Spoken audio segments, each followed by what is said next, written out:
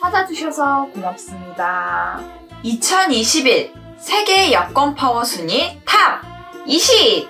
어떤 나라가 여권 파워가 제일 센지 영상을 통해 꼭 확인해보세요. 채널, 채널 고정!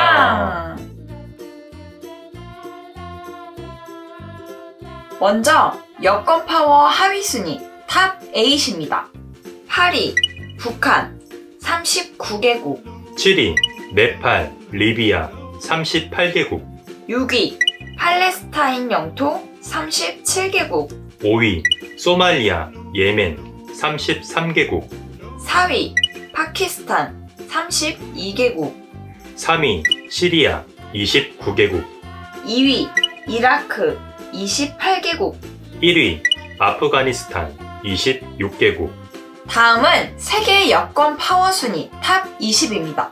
20위 산마리노 168개국. 19위 브라질, 아르헨티나, 홍콩 170개국. 18위 불가리아 크로아티아 171개국. 17위 루마니아 172개국. 16위 아랍에미리트 173개국. 15위 모나코, 키프로스, 칠레 174개국. 14위 말레이시아 리히텐슈타인 178개국.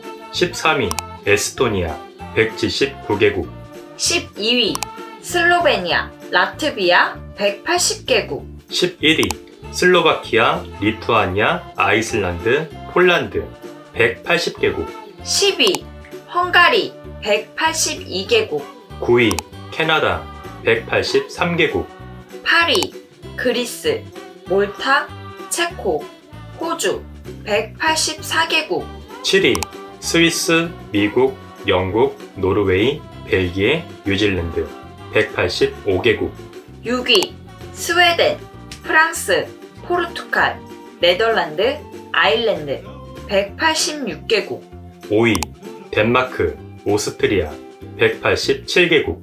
4위 이탈리아 핀란드 스페인 룩셈부르크 188개국 3위 한국, 독일 189개국 2위 싱가포르 190개국 1위 일본 191개국 특히 대한민국 여권이 파워가 강해서 많은 사람들이 위조를 한다고 합니다. 저도 이런 소리 많이 들어봤어요. 음.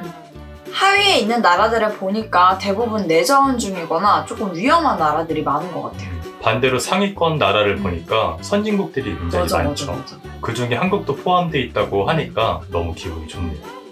이번 시간은 세계 여권 파워 순위에 대해서 알아봤는데요. 다음 시간에는 또 다른 주제의 영상을 가지고 찾아오겠습니다. 더 다양한 영상을 계속 보고 싶다면 구독, 구독, 좋아요, 알람 꼭 잊지 마세요. 지금까지 시청해주셔서 고맙습니다.